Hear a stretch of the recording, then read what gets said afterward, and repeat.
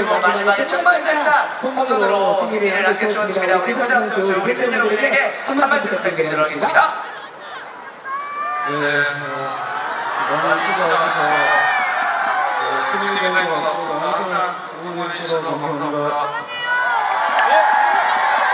자 우리 팬 여러분들 궁금해하시는 것 중에 하나 또 우리 고장 선수에게 여쭤보도록 하겠습니다. 일단 오늘 끝내기 홈런이 아, 데뷔 첫 끝내기 홈런이에요. 알고 계시죠? 기분이 어떠신지. 네, 한번 더 듣도록 하겠습니다. 기분이 어떠신지 데뷔 첫 끝내기 홈런에 기분 어떻습니까?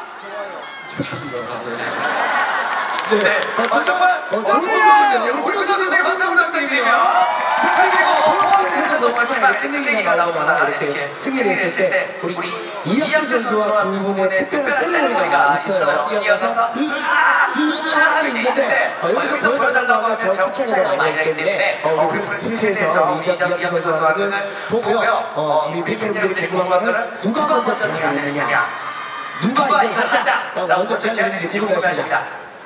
당연히 한수영이 네, 알겠습니다. 자, 자 그럼 지금부터 우리 고정 선수의 쌀볼 던져드리는 시간 공개하도록 하겠습니다.